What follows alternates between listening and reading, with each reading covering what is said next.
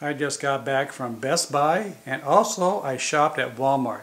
I can't believe I shopped at Walmart.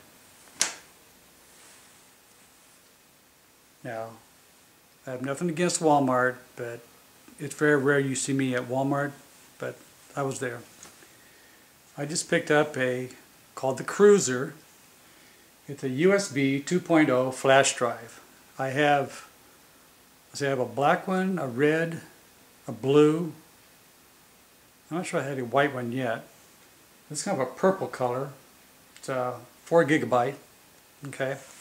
Then I got this other color here. It's the same thing. It's a USB. It's a, by SanDisk. It's kind of a green color, kind of. And I needed it because my other ones were already full. And then I went to Best Buy and picked up a new program that I downloaded on my laptop. It's an Office Home and Student 2010 program.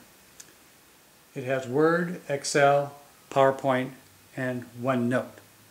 I just put this on the computer about probably a couple of hours ago and it worked pretty good. And what the hell?